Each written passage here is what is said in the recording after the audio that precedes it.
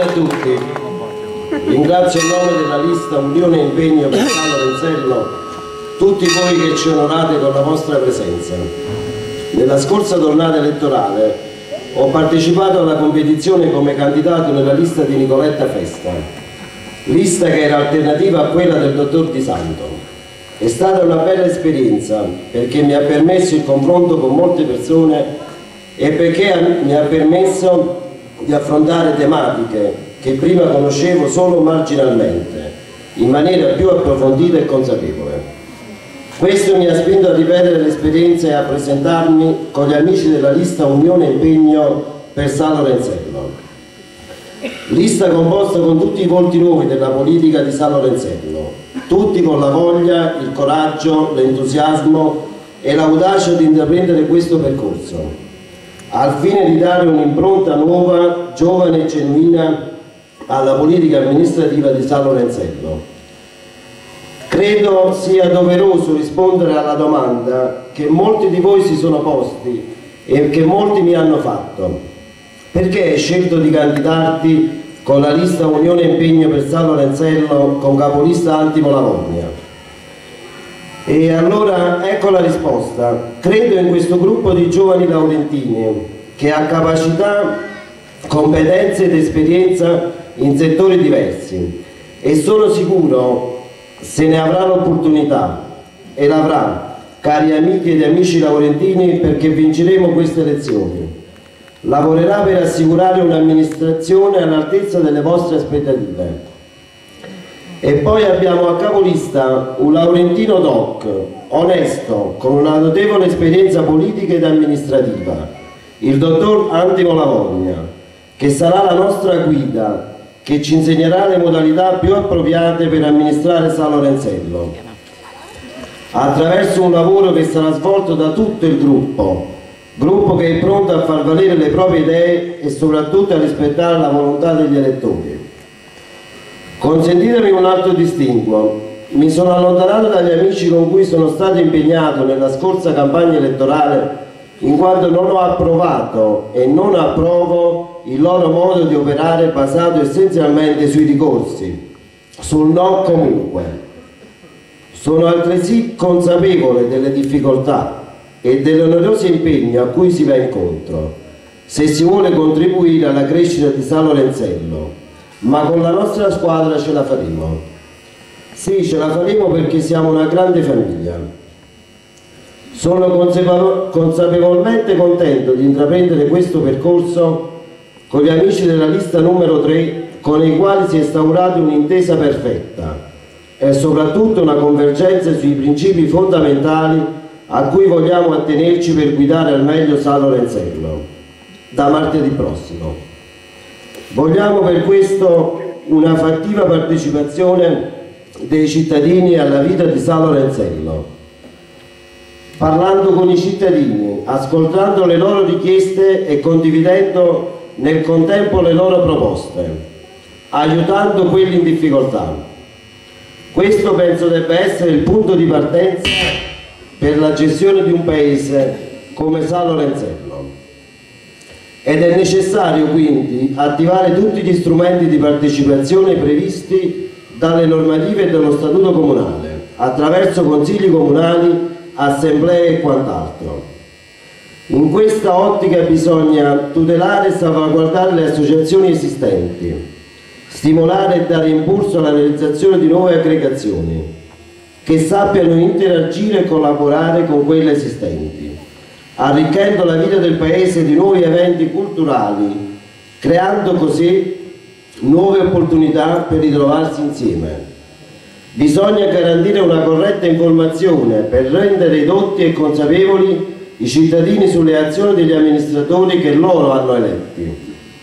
Bisogna riaffermare la specificità territoriale del Paese, del comprensorio, rilanciare lo sviluppo economico e culturale di San Lorenzello, valorizzare ed incentivare ogni iniziativa volta alla produttività e alla imprenditorialità, stimolando e sostenendo con servizi reali, soprattutto le proposte di imprenditorialità giovanile, suggerendo e cogliendo le opportunità di agevolazioni di legge integrandole con altre iniziative di promozione amministrativa. Bisogna incentivare i settori innovativi con l'attivazione di corsi di formazione professionale e valorizzando quelli esistenti. Ammodernare le infrastrutture e strutture produttive nel settore agricolo e zootecnico, valorizzando le produzioni vinicole e olearie, con l'adeguamento alle esigenze di mercato quali marchi di origine, genuinità dei prodotti e confezionamento, stimolando altresì ogni forma possibile di collaborazione. Bisogna inoltre razionalizzare il sistema viario urbano, realizzare spazi attrezzati per l'infanzia, adeguare e potenziare i servizi comunali. Bisogna valorizzare le risorse paesaggistiche, ambientali e storiche del territorio attraverso ogni possibile strumento promozionale, atteso che lo strumento urbanistico di indirizzo quale il piano territoriale di coordinamento provinciale ritiene che lo sviluppo sostenibile della nostra provincia è quello turistico ambientale. Un altro settore da tenere presente è il settore dei lavori pubblici. A proposito di questo vorrei fare una riflessione con tutti voi, soprattutto per evidenziare l'importanza del ruolo che rivestono gli amministratori in questo settore. Nei comizi dei giorni scorsi il candidato a sindaco della lista numero 2, Erdio Sagnella, ha parlato di un argomento che lui ha definito un grosso problema ed aveva sicuramente ragione, ma forse c'è qualcosa di più grave che bisogna informare i cittadini. Il decreto legislativo 163 del 2006, che regola i contratti per l'affidamento dei lavori pubblici, offre alle stazioni appaltanti per l'aggiudicazione dei lavori come modalità di scelta del contraente, oltre alle classiche procedure, cioè quella della licitazione privata del massimo ribasso, offre anche un'offerta economicamente più vantaggiosa. Questa modalità di scelta del contraente si pone come scopo principale quello di evitare l'aggiudicazione a ditte che offrono ribassi esagerati a scapito della qualità dei lavori. Ma la cosa fondamentale è che permette alle ditte partecipanti di diminuire il ribasso e in alternativa di offrire un progetto migliorativo. Questa nuova procedura favorisce eh, sia l'impresa perché non, ha, non fornisce più un taglio netto sui prezzi ma uh, fornisce um, un maggiore lavoro, quindi una quantità maggiore di lavoro.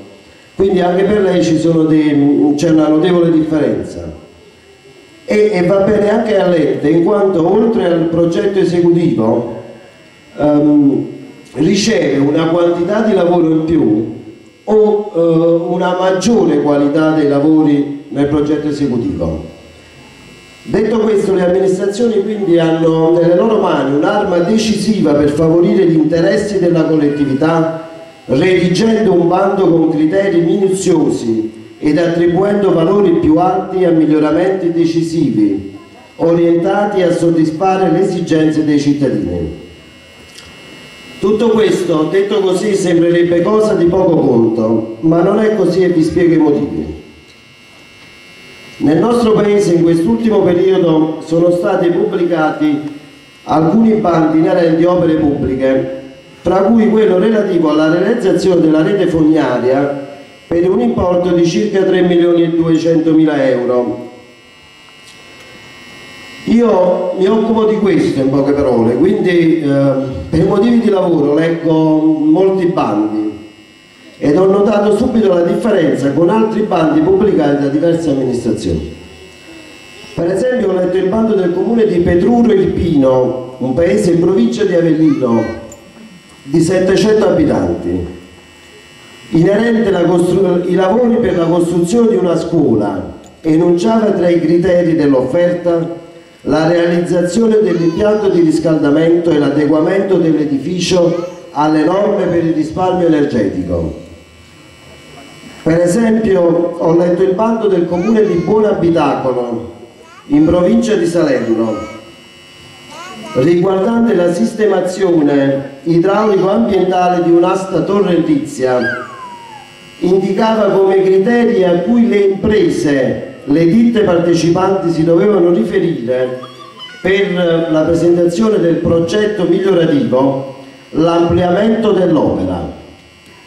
Invece il bando pubblicato dall'amministrazione di San Lorenzello per la realizzazione della rete fognaria indicava fra i soli due criteri a cui attenersi, attenersi quello del pregio estetico. Ora, quello che io purtroppo non riesco a capire, non era più necessario invece, non era doveroso per tutti i cittadini di San Lorenzello inserire tra quei criteri quello di ampliare la rete fognaria e coprire più territorio invece di renderla più bella. Anche perché non me ne vogliate, ma io non riesco a capire cosa si possa fare per migliorare il pregio estetico di una fognatura, un'opera che viaggia sottoterra.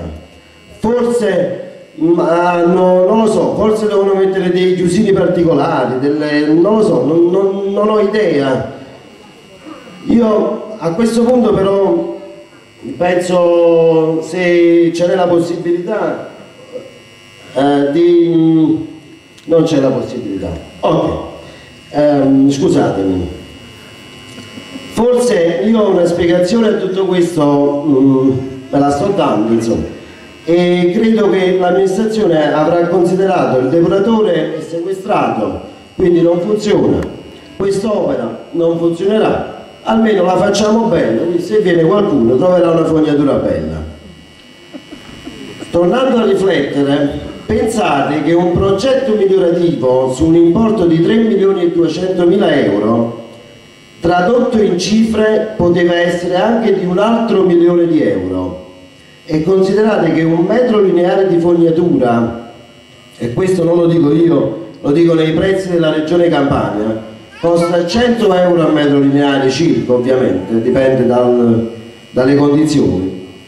Che, tutto questo significa che attraverso un bando diverso e più oculato potevano anche essere realizzati molti metri di fognatura in più o un sistema diverso per risolvere il problema del depuratore.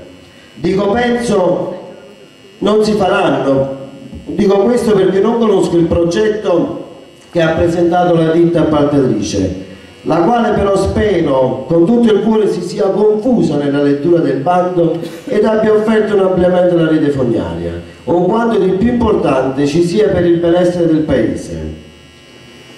Poi aggiungo che nelle scorse sere il candidato consigliere della lista numero 2, Giovanni Meglio, ha elencato la spesa per la manutenzione delle strade comunali, valutandola giustamente o non come irrisoria, ma io aggiungo di più, che in comuni un po più efficienti del nostro, la manutenzione delle strade comunali, come ormai di tutte le opere pubbliche, è a costo zero, anche per periodi molto lunghi, in quanto è a, della, è a carico della ditta vincitrice della gara perché è previsto come criterio del bando di indizione della gara stessa. Ovviamente, caro dottore Di Santo, quando si stipulano i contratti di manutenzione, come tu hai detto l'altra sera, non sono contratti personali, ma stipulati come rappresentante dell'ente comunale, quindi quando viene meno la persona che lo ha stipulato, riferendomi all'area del pozzo, Comunque chi rappresenta l'ente deve rispettare obblighi e diritti che ne derivano per renderla più semplice. Non credo, caro dottore, che se lei succeda ad un altro medico in un nuovo reparto abbandoni i malati del reparto per curare solo quelli subentrati dopo la sua nomina. Inoltre l'altra sera in questa piazza, dottore, lei ha asserito che tutti i lavori iniziati durante la sua amministrazione sono stati iniziati e completati. Allora lei che parla di trasparenza le chiediamo come mai i lavori di recupero e restauro dell'ex convento dei Carmelitani, aggiudicata in via definitiva con determina numero 151 del 3-8-2010 del servizio tecnico manutentivo, ancora non sono stati avviati. Invece, i lavori per la realizzazione della fognatura, aggiudicati in tempi più recenti, sono già stati avviati, anche se c'è un ricorso in atto, accollandosi l'amministrazione il rischio di pagare un amore in caso di esito positivo del ricorso e parliamo di una somma di 320.000 euro perché l'ente deve pagare il 10% dell'importo, altro che il caso Palumbo. Concludo il mio intervento dicendo che mi occupo anche un po' di progettazione e fra le tante offerte a cui ho partecipato ho, insieme ad altri tecnici ovviamente ho partecipato anche ad una gara a San Lorenzello, le strade comunali. Lavori che sono stati appaltati da poco e fra l'altro tra le altre cose che abbiamo offerto abbiamo offerto la pubblica illuminazione sulla strada Serre San Donato cioè praticamente davanti a casa tua Elvio e via Picone perché eh, credevamo fosse importante quelle zone per la sicurezza dei cittadini.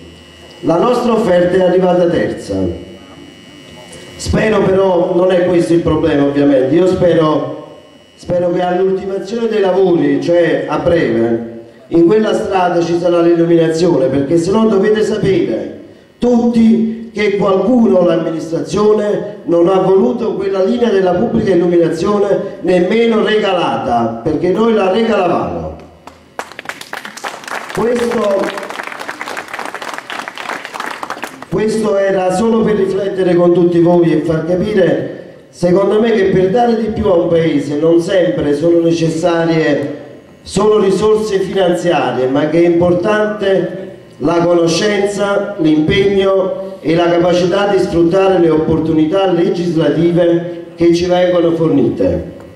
Per questo motivo io vi dico votate la lista numero 3, la lista Unione Impegno per San Lorenzello, con candidato a sindaco il dottor Antimo Lavogna. Grazie.